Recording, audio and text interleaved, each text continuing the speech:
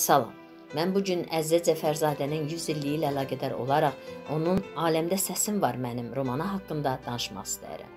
Müasir Azərbaycan ədəbiyyatında daha çox tarixi romanlar müəllifi kimi tanınmış yazıçı Əziz Cəfərzadənin ümumi Şirvan başlığı ilə məlum olan silsilə əsərlərinə daxil olan Aləmdə səsim var mənim romanı 19-cu əsrin böyük şairi və maarifçisi Seyid Əzim Şirvaninin həyatından bəhs edir. Şairin maarifə məktəb açmağa meyil göstərməsi Şirvanda baş verən əhvalatlarla bağlı şəkildə qələmə alınmışdı.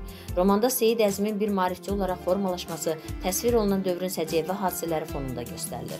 1971-ci ildə qələmə alınmış Aləmdə səsim var mənim romanı yalnız yazıçının yaradıcılığında deyil, ümumən Azərbaycan tarixi nəslində əhəmiyyətli yerlərdən birini tutur.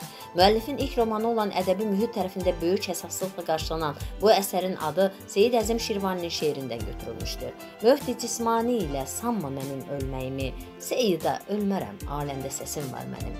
Aləmdə səsim var mənim romanı romanında Əziz Cəfərzadə yaradıcılığına və şəxsiyyətinə böyük məhəbbət bəslədiyi Seyid Əzim Şirvaninin obrazını yaratmağa qarşısına məqsəd qoysa da, yazıçı bununla kifayətlənməmiş. Bütövlükdə 19 yüzil Şirvan tarixini, daha doğrusu Şamaxı mühitini ictimai-siyasi və ədəbi mədəni hadisələrin canlı mənzərəsi fonunda və etnoqrafik yaddaşın işığında izləmişdir. Xalq şairi Rəsul Ruzanın fikrincə əsərin bəyənimli cəhətlərindən biri, bəlkə də ən dəyərlisi müəllifin qələmə aldığı dövrə, onun insanlarına, xalqın məişətinə, adətlərinə yaxından yaxşı yaxşı bələd olmasıdır. Biz bu əsərdən xalqın keçmişinə aid yalnız baş vermiş hadisələr, yeniliklə köhnəliyin mübarizəsindən inandırıcı səhifələr deyil, həm də bir sıra etnoqrafik detallar, adətlərin necəliyi, mühitin havası haqqında maraqlı məlumat alırıq. Kitabı vərəqlədikcə bir zamanlar gördüyümüz məişət, adət ənənələri, insan xarakterləri, faktlar düzümü, illərin uzaqlarında xatirələr toranından aşkarlanan fotoşəkillər kimi yavaş-yavaş gözlərimizdə görünməşir.